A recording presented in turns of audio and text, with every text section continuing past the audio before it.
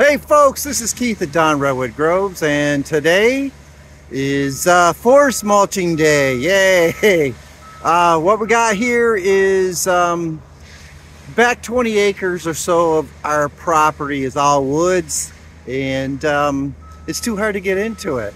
So I've hired a forest mulcher to create some paths so we can get our equipment in and around the forest open it up and make it more usable or desirable for us. So come along and let's see what we got today. So this wood's got a lot of underbrush in it, nasty down this area here. But we've got to, the goal is to open up and go two paths wide. And his um, forest mulcher is uh, seven feet wide seven feet wide. So, going through here and we're just kind of cutting through, opening it up, and uh, there he is, working along. This is going to be the hardest part for the day, is getting this thing open. But we'll see what we can do. Alrighty, so this was uh, pretty much clear cutted uh, seven years ago. We did leave some nice mature trees in this area, but uh, pretty much all this is just overgrown brush. There's some oaks in there. There's a bunch of sweet gum poplar, the typical southern trees. Uh, but what our goal is here is get this open so we can get around it, get it open. Um, we can clear through this as we get going, but I can't do this with my equipment. So, we've gone through, this is uh, the upper half of my property, the back of the 20, if you will.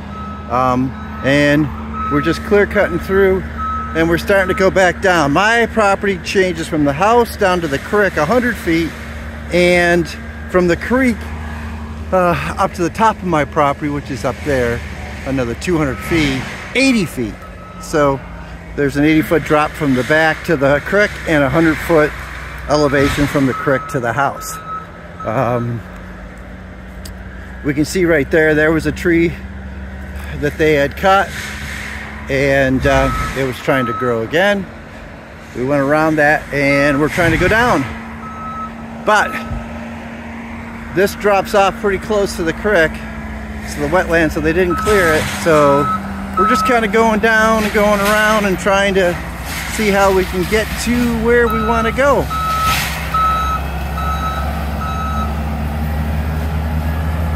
And here we are, we're working along. Alrighty, so here's just a little shot of where we are. This is the path coming up south side of the creek of our property. Going over here, and um, I have a clearing over there. I'm just gonna have him clear that spot, just cleared up. And the goal is to put a man bridge. I'd like to do some type of suspended bridge, um, cable bridge, something like that here, just so that when we do go for a walk, we could walk through here and come on up but this is really nice. I'm pretty stoked about this. It's opened up really good. Um, beavers, they love to kill trees. But anyhow, here's the path. He's opening it up. Um, we've actually pretty much got this all open already and uh, we've only been doing about two and a half hours. We got stuck and I say we because we found a sinkhole. He was digging, jumping in here, and all of a sudden, his unit just fell. I will try to put a picture maybe in the corner here. But we got stuck in there. Um, we actually had to go get my toy to help get him out. I will uh, talk to you about that more later in another video. So, we're in the south side of our property. Um, I think we go probably where we are right now, about 250 feet more that way. So that's pretty much all mature trees. I'd love to clean it out, but I am not going to be able to use this guy for this. Um, on this 20 acres, uh, we had three sections clear cutted for a project. They wouldn't cut these trees here because of there's a seasonal ravine, if you will, going through here. Uh, I've never seen water go through it, but I'll, let's be honest, I haven't been back here through much. Um, but we're coming down through here. It's not very bad dip. Um, I was thinking of building a small bridge here just to make it a little smoother transition. Um, I don't think I want to put a culvert pipe in here and do any of that. That doesn't make sense to me. So, I don't know, might be just a bridge or you got any ideas, let me know. But it's it's not bad. It's it's really uh, foot and a half drop. And probably a little eight foot oak, white oak bridge would be enough to just span this thing and keep her happy. So um, it's kind of my thought. And right now we've got all most of the paths opened up, I should say. I'll cut some more paths, I think. And right now he's cleaning things up. So we come up and uh, he's doing a great job. Doing a great job. I'm I'm happy. So I guess I'm the customer, so that makes it all right, right? So yeah, he's opening it up. Again, uh, his mulcher's seven feet, so he's trying to do like two paths, maybe a little more. But so we're like 14 foot wide. I'll be able to take my rotary cutter and just keep the the brush down on this and keep it going and it should be a nice trail. And then I can actually take the rotary cutter if I want and start protruding in here and opening up into the woods or small chainsaw and start keeping uh, the trees I want. What I'd like to do is throw um, seeds, if you will, in here. Some black walnuts, some more white oak, some more red oak. Um, maybe, I don't know what you can get for a cherry seed, but uh, maybe some uh, fruit trees in here too. I'd like this become just more a, a natural production forest for us.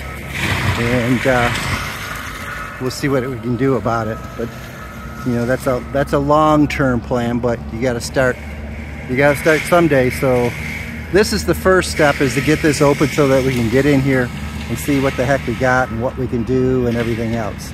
So pretty excited.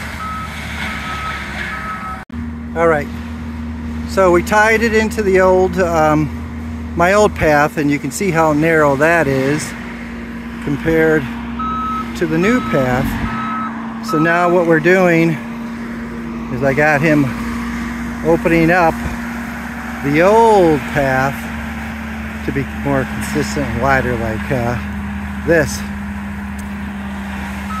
I had uh, my mother-in-law on the RTV and she got drove by and uh, one of those stinking uh, blackberry bushes came and I caught her in the cheek, whipped in, so I want this wide enough that we don't get people hurt. So, he's doing a great job. Keep moving.